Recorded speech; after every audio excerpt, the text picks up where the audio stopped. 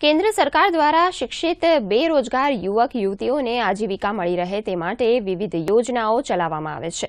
જેમાં રાષ્ટ્રીય ગ્રામીણ આજીવિકા મિશન, રાષ્ટ્રીય શહેરી આજીવિકા મિશન અને નાબાર્ડના પ્રોગ્રામો ચલાવવામાં આવે છે. આ યોજનાઓ અંતર્ગત વિદ્યાર્થીઓને રહેવાની તથા જમવાની સગવડ ફ્રીમાં આપવામાં આવે છે અને વિવિધ વિષયોમાં તાલીમ અપાય છે.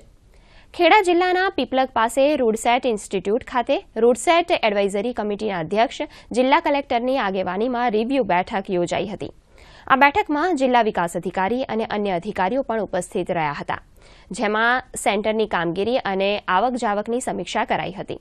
સાથે જ તાલીમ પામતા વિદ્યાર્થીઓમાં કેટલા આત્મનિર્ભર બન્યા તેને લઈ પણ મંથન કરાયું હતું. આ સિવાય અન્ય કયા નવા કોર્સ શરૂ કરી શકાય તેને લઈને પણ ચર્ચા કરાઈ હતી.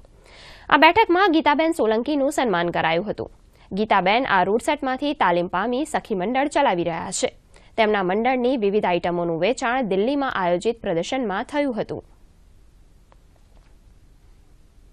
हर तिमाही में हुए प्रोग्राम्स की यहाँ पर समीक्षा की जाती है जिसमें यह देखा जाता है कि सारी ट्रेडिंग्स सही दिशा में जा रही है कि नहीं सरकार द्वारा जितनी योजनाएं हैं उसके तहत जो ट्रेडिंग्स होती हैं उनको सही तरीके से और सही दिशा में ले जाया जा रहा है कि नहीं